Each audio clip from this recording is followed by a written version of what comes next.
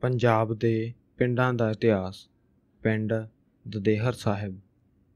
ਸਥਿਤੀ, ਤਹਿਸੀਲ ਤਰਨਤਾਰਨ ਦਾ ਪਿੰਡ ਦਦੇਹਰ ਸਾਹਿਬ, ਤਰਨਤਾਰਨ ਹਰੀਕੇ ਸੜਕ ਤੋਂ 3 ਕਿਲੋਮੀਟਰ ਅਤੇ ਰੇਲਵੇ ਸਟੇਸ਼ਨ ਤਰਨਤਾਰਨ ਤੋਂ 29 ਕਿਲੋਮੀਟਰ ਦੂਰ ਹੈ। ਇਤਿਹਾਸਕ ਪਿਛੋਕੜ ਤੇ ਮਹੱਤਤਾ, ਇਹ ਪਿੰਡ ਸਾਢੇ ਚਾਰ ਸੌ ਸਾਲ ਪਹਿਲਾਂ ਹੋਂਦ ਵਿੱਚ ਆਇਆ।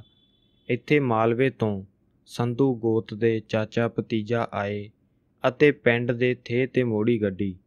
ਪਾਣੀ ਦੀ ਭਾਲ ਵਿੱਚ ਉਹ ਜੋਗੀ ਦੇ ਡੇਰੇ ਤੇ ਪੁੱਜੇ ਜਿਸ ਨੇ ਦੋਹਾਂ ਨੂੰ ਵੱਖਰੇ ਵੱਖਰੇ ਪਿੰਡ ਵਸਾਉਣ ਲਈ ਕਿਹਾ। ਉਹਨੇ ਆਪਣਾ ਘੋੜਾ ਦਿੱਤਾ ਤਾਂ ਜੋ ਸਵੇਰੇ ਉੱਠ ਕੇ ਦੋਵੇਂ ਆਪਣੀ ਆਪਣੀ ਜ਼ਮੀਨ ਵੱਲ ਲੈਣ। ਇਸ ਪਿੰਡ ਦੀ ਜ਼ਮੀਨ ਚਾਚੇ ਦਦੇਹਰ ਨੇ ਵੱਲੀ ਅਤੇ ਇਸ ਦਾ ਨਾਂ ਦਦੇਹਰ ਪੈ ਗਿਆ। ਇਸ ਪਿੰਡ ਦੇ ਨਾਲ ਨਾਲ 22 ਪਿੰਡ ਸੰਧੂਆਂ ਦੇ ਹਨ। ਸੰਧੂਆਂ ਦਾ ਮੁੱਢ ਇੱਥੇ ਦਦੇਹਰ ਤੋਂ ਵੱਜਾ, ਜੋ ਬਾਅਦ ਵਿੱਚ ਇਤਿਹਾਸਕ ਗੁਰਦੁਆਰਿਆਂ ਕਰਕੇ ਦਦੇਹਰ ਸਾਹਿਬ ਅਖਵਾਉਣ ਲੱਗ ਪਿਆ। ਇਸ ਪਿੰਡ ਵਿੱਚ ਦੋ ਇਤਿਹਾਸਕ ਗੁਰਦੁਆਰਿਆਂ ਤੋਂ ਇਲਾਵਾ ਇੱਕ ਪੀਰ ਦੀ ਜਗ੍ਹਾ ਹੈ। ਗਦਰੀ ਬਾਬਾ ਵਿਸਾਖਾ ਸਿੰਘ ਜੀ ਦਾ ਇਹ ਜੱਦੀ ਪਿੰਡ ਹੈ।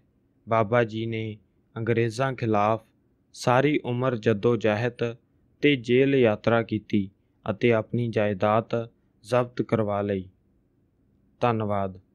ਚੈਨਲ ਨੂੰ ਸਬਸਕ੍ਰਾਈਬ ਕਰਨਾ ਨਾ ਭੁੱਲਣਾ ਅਤੇ ਪਿੰਡਾਂ ਦੀ ਜਾਣਕਾਰੀ ਨੂੰ ਆਪਣੇ ਦੋਸਤਾਂ, ਮਿੱਤਰਾਂ ਦੇ ਨਾਲ ਜ਼ਰੂਰ ਸਾਂਝਾ ਕਰਨਾ।